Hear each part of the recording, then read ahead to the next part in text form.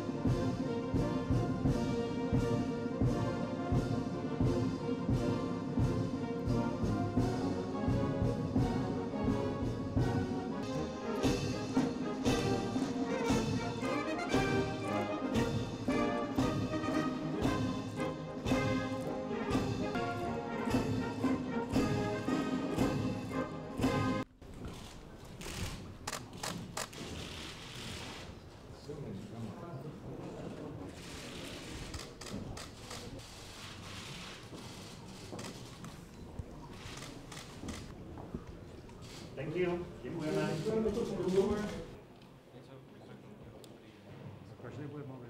In Afghanistan, die Nachrichten, die uns aus Afghanistan erreichen, sind in jeder Hinsicht ernüchternd. Zunächst mal für uns alle, aber das gilt natürlich besonders für diejenigen, die sich in den letzten 20 Jahren des Einsatzes für ein besseres Leben der Menschen in Afghanistan engagiert haben und das oft unter Einsatz von Leben und eigener Gesundheit. Die transatlantischen Beziehungen haben uns.